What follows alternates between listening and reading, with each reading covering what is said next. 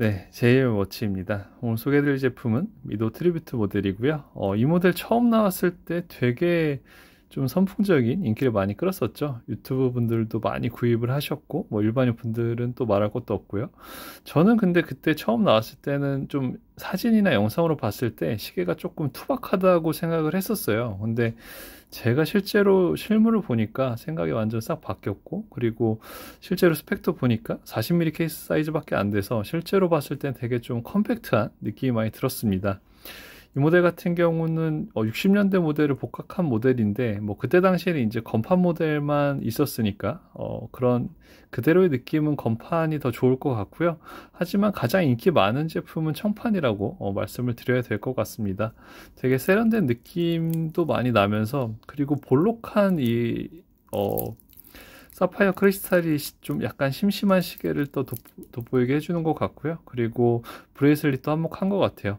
보통 요즘에는 뭐 3연줄이나 5연줄, 7연줄도 잘 없잖아요. 근데 이 제품 같은 경우는 거의 뭐 11연줄, 12연줄 뭐 이렇게 연줄이 많다 보니까 그런 것도 좀 시계를 어, 특색 있게 만들어준 부분이 아닌가 생각이 좀 듭니다. 스펙을 좀 소개를 해드리자면 어, 케이스 사이즈는 40mm 정도 나오고요. 그리고 밴드 폭이 21mm입니다. 21mm인 게 조금 아쉬울 것 같긴 해요. 그리고 이제 special edition이기 때문에 이제 그 fabric 밴드를 하나 또 여분으로 주기는 하는데 그 밴드도 뭐 질이 그렇게 좋은 편은 아니라서 어, 줄질에는 조금 아쉬운 점이 있지 않을까 생각이 좀 듭니다. 어, 그리고 예 두께 같은 경우는 13.4mm고요. 그리고 이제 안쪽은 solid back으로 된 걸 볼 수가 있습니다. 어, 볼록한 어, 중저가 시계들에서 볼록한 크리스탈을 써줄 때는 거의 사파이어가 아니라 이제 미네랄이나 크리스탈을 써주는데 어, 사파이어 크리스탈 써준 게 어, 굉장한 장점이라고 볼 수 있을 것 같습니다. 그래서 시계가 지금 멈춰 있는데 어, 용도를 풀러서 뭐 수동 감기를 한번 해볼게요. 방수 같은 경우는 당연히 이제 다이버 시계답게 오션스타란 이름답게 어, 이식기압인 걸 볼 수 있고요. 수동 감기를 하다 보니까 이렇게 초침이 움직이는 걸 볼 수 있습니다. 이 청판의 느낌이 완연한 청색이라기보다는 약간 스카이 블루의 느낌도 나거든요. 그래서 참고하시면 좋을 것 같고요. 화면보다는 살짝 더 옅은 컬러가 아닌가 생각이 좀 듭니다. 이 주황색 초침 또한 어, 시계 그런 조화롭게 잘 얹어져 있는 걸 볼 수가 있네요. 그래서 두 칸 빼서 이렇게 돌려주면 10분반을 조절할 수가 있고요. 그리고 한 칸 빼서 돌리면 날짜랑 요일을, 요일을 바꿀 수가 있네요. 네. 이런 식으로요.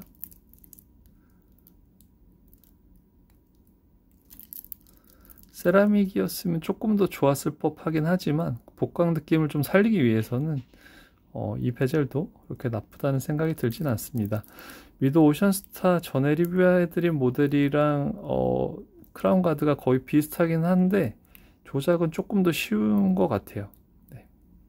시계 단점이 있다면 어, 광택이 조금 부담스럽긴 합니다. 뭐 브러시드 처리를 군데군데 해줬어도 괜찮을 것 같은데 지금 눈에 보이는 곳은 거의 다 광택이 있고요. 특히 이 버클 같은 부분은 이제 스크래치가 많이 나는 부분이다 보니까 좀 어, 브레, 아, brushed 처리를 해주면 더 좋을 것 같은데, 네.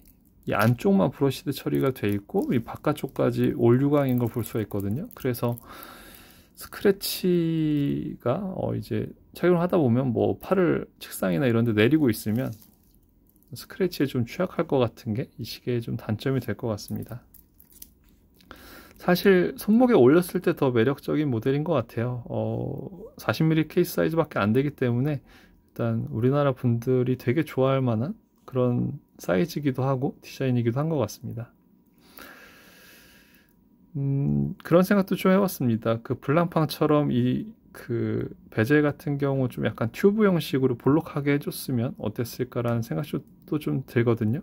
뭐 물론 이제 그 글라스도 볼록하니까 약간 언밸런스 할 수도 있긴 하지만 조금 더 특색이 있는 제품이 되지 않았을까 생각이 좀 듭니다.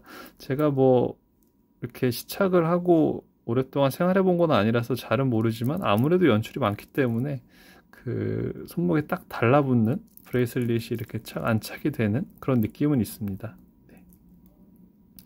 보이는 이런 부분들이 다 올유광 처리가 돼 있어서 좀 그런 부분은 착용하실 때 좀 주의를 하셔야 될 것 같네요.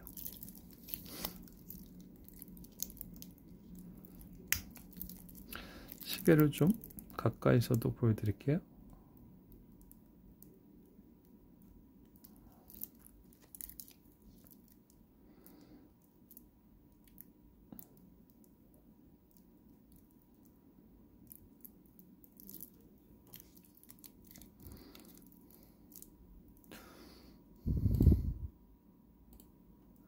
네, 그리고 무브먼트 같은 경우는 이제 스와치 그룹사에 들어 소속되어 있기 때문에 이제 에타 무브를 썼지만 이제 80시간 무브라고 되어 있는 걸 볼 수가 있고요.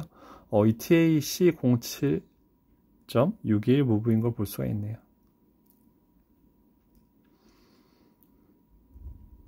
주얼 같은 경우는 25주얼이고요.